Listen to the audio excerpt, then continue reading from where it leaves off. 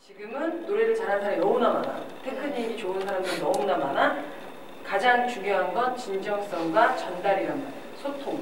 소통이 가장 중요하다. 어차피 사람이 하는 거거든. 기쁜 노래, 슬픈 노래, 아픈 노래, 이별 노래, 사랑 노래 다 똑같아. 전달이 가장 중요해.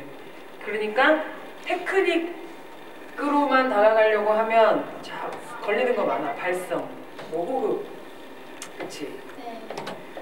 발성만 하다가 평생이 갈 수도 있어요. 그러면 내가 하고자 하는 표현이 먼저고 그거에 따른 발성이 다음이야.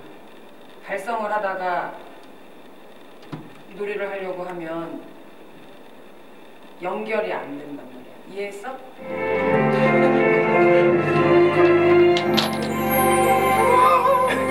아, 아.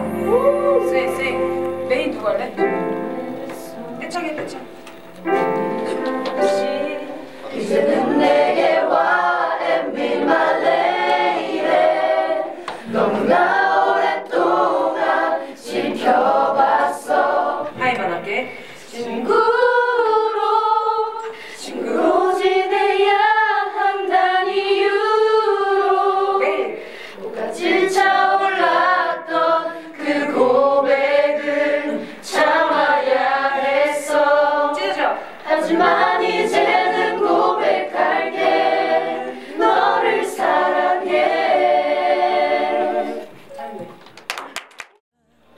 안녕하세요 연지입니다.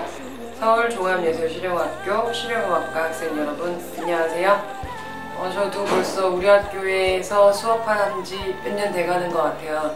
여러분 만날 때마다 하는 얘기지만 어, 꼭 노력에는 결과가 따르거든요. 열심히 하시면 꼭 좋은 결과 있을 거라고 믿고 있고요.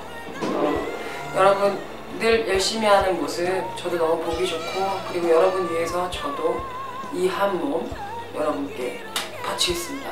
열정을 다해서 어, 여러분이 꿈을 이루는 그날까지 영지 교수는 여러분과 함께 할 거니까요.